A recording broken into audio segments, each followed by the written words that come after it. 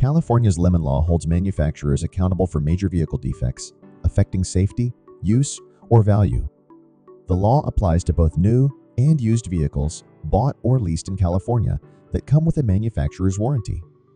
If a vehicle experiences persistent issues that remain unresolved after multiple repair attempts, it may be deemed a lemon, requiring the manufacturer to replace the vehicle or issue a refund. A vehicle is a lemon if it has a major defect affecting safety, value, or performance that persists despite reasonable repair attempts. Typically, the defect must occur within the first 18 months of ownership or 18,000 miles, but defects arising later within the warranty period are also covered. Manufacturers must repair defects and, if unsuccessful, after reasonable attempts, replace the vehicle or issue a full refund, including expenses.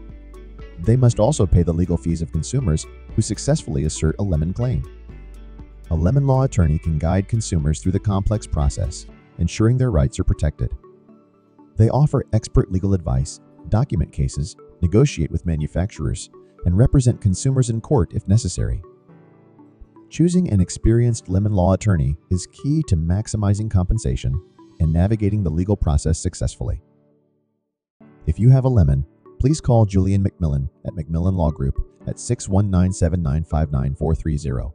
That's 619 59430 or email us at julian at the rate of mcmillanlawgroup.com for your free case evaluation.